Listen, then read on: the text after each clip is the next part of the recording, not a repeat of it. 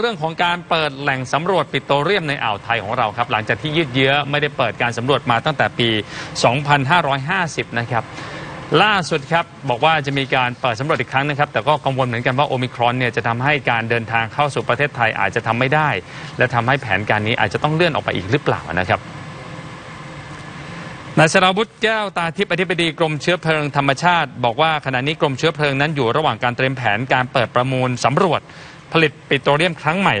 หรือว่ารอบที่ 24จำนวน 3 แปลงนะครับในอ่าวไทย หลังจากที่ไม่ได้เปิดให้มีการสำรวจมากว่า 14 ปีแล้วนะครับหรือว่าตั้งแต่ปี 2550 ที่ผ่านมา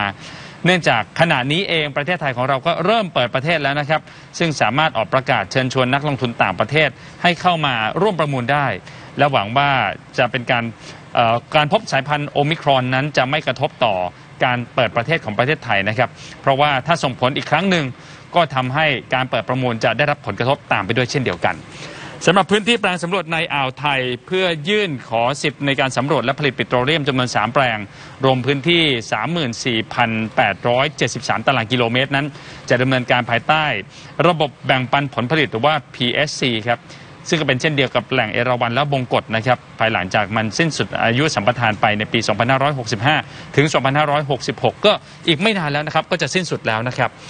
กรมเชื้อเพลิงก็คาดหวังว่าพื้นที่แปลงสำรวจในพื้นที่นี้จะช่วยเพิ่มปริมาณสำรองปิโตรเลียมที่ปัจจุบันเริ่มมีปริมาณลดน้อยลงเรื่อยๆนะครับแล้วก็จะช่วยเพิ่มรายได้ให้กับภาครัฐ